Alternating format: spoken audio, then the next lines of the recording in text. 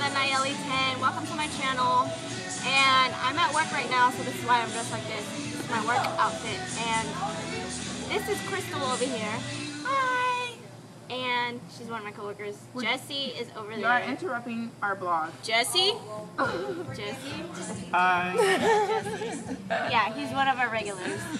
So right now it's really slow in here. We only have like three tables total. Yeah. Um. So that's why we're making this video.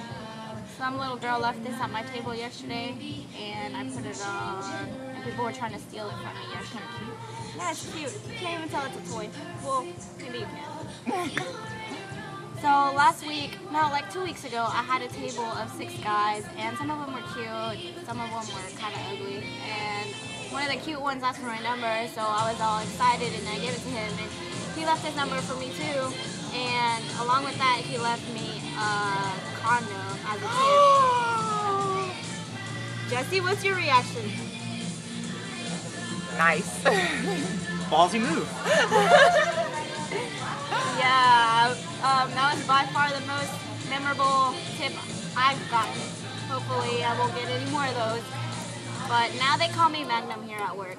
And yeah, that's my that's my name. I'm gonna take and roll, and they're like, Magnum, are you here? Big penis. okay, this is the necklace that was in my haul. If you guys want more information on that, check the sidebar or watch my other video. Um, I'll have more videos coming soon. I should probably go check up on my table right now, so I think I'm gonna go. Bye! Bye, thanks for watching.